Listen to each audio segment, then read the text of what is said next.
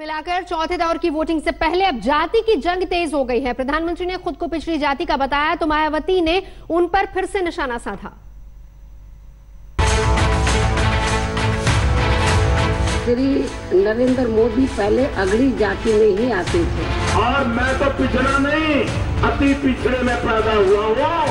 आप मेरे मुँह से बुलवा रही हो से बोल रहा हूँ। चौथे दौर की वोटिंग से ठीक पहले चुनाव में मेरी जाति, तेरी जाति, छोटी जाति, बड़ी जाति का खेल शुरू हो गया। यूपी में जातीय जोड़ घटाव के गणित को अपने पक्ष में करने के लिए मायावती ने मैनपुरी में पिछड़ा कार्ड चला। 26 साल बाद साझा मंच पर माया और मुलायम साथ थे और बीएसपी सुप्रीमो मायावती ने मुलायम को पिछड़ों का सबसे बड़ा नेता करार देते हुए मोदी को फर्जी पिछड़ा बता दिया। श्री मुलायम सिंह यादव जी तो असली है वास्तविक है जन्म जातीय पिछड़े वर्ग के हैं। अर्थात ये प्रधानमंत्री श्री नरेंद्र मोदी की तरह नकली वे फर्जी पिछड़े वर्ग के नहीं है। आप मेरे मुँह से बुलवा रही हो से बोल प्रधानमंत्री ने मायावती पर पलटवार के लिए यूपी को ही चुना।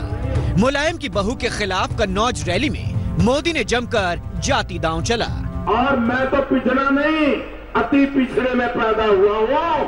आप मेरे मुँह से बुलवा रही हो बोल रहा हूँ। मैंने कभी अगले पिछड़े की राजनीति का मैं पक्षकार नहीं हूँ।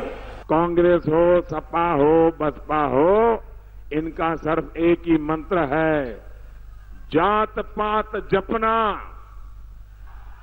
जनता का माल अपना।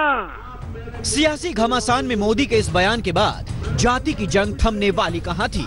मायावती ने फिर से माइक थामा। और इस बार मोदी को अगड़ा करार देते हुए बताया कि वो तो सियासी पिछड़े हैं। प्रधानमंत्री श्री नरेंद्र मोदी ने अपनी चुनावी जनसभाओं में खुद अपने को पिछड़े वर्ग का बता के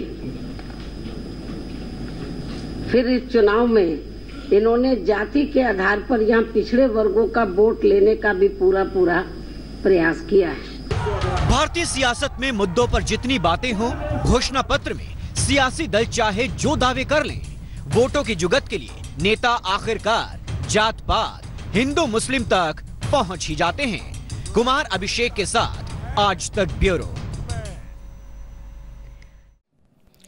लेटेस्ट खबरों के लिए यू ही देखते रहिए आज तक। और इस वीडियो के पसंद आने पर लाइक शेयर एंड सब्सक्राइब करना ना भूलें।